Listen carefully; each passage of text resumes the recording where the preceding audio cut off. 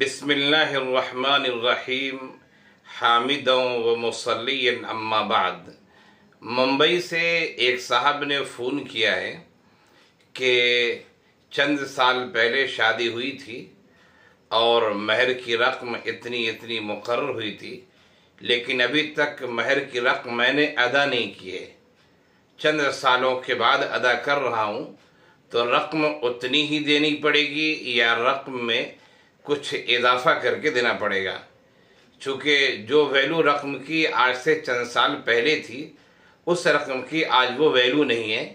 ذرا شرعی رہنمائی کیجیے تو اس سلسلے میں سیدھا سادہ شرعی جواب یہ ہے کہ رقم مہر میں جتنی مقرر ہوئی تھی، اتنی ہی رقم واجب ہے۔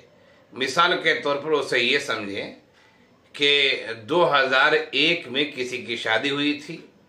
اور مہر کی رقم جو مقرر ہوئی وہ پچیس ہزار مقرر ہوئی تھی۔ لیکن اس نے مہر اس وقت ادا نہیں کیا۔ دو ہزار چوبیس میں وہ مہر ادا کرنے جا رہا ہے۔ یقیناً چار سال کا عرصہ ہو گیا۔ اب اس وقت پچیس ہزار کی جو اہمیت تھی، اس وقت یقیناً اس کی اہمیت کم ہو گئی ہے۔ تو اب وہ رقم کتنی ادا کرے گا؟ تو پچیس ہزار ہی کی رقم ادا کرے گا۔ رقم کے ویلو کے کم اور بیش ہونے کی وجہ سے مہر کی رقم میں اضافہ نہیں ہوگا۔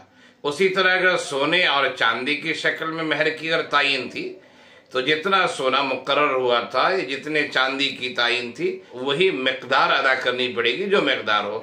اس میں اضافہ کرنے کی کوئی ضرورت نہیں ہے۔ ایسے بہتر طریقہ تو یہ ہے کہ شادی کے ساتھ ہی یا نکاح کے ساتھ ہی آدمی مہر ادا کر دے یہ زیادہ بہتر طریقہ ہے۔ لیکن خیر، یہ حق زوجہ کا ہے۔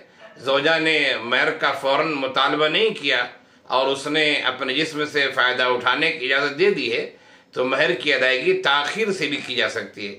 لیکن یاد رکھیے کہ مہر کی تعین جو ہوئی تھی، چاہے وہ رقم کی شکل میں ہو یا سونے چاندی کی شکل میں ہو یا کسی اور شکل میں ہو، تو جتنی تعین ہوئی تھی، چند سال کے بعد بھی آپ ادا کر رہے ہیں، تو اتنی ہی ادائیگی آپ پر لازم ہے۔ اس میں بڑھا کر ادا کرنا لازم نہیں ہے۔ یہی شریعت کا حکم ہے۔ اللہ تعالی ہم سب کو شریعت پر چلنے والا بنائے۔ آمین۔ یا رب العالمین۔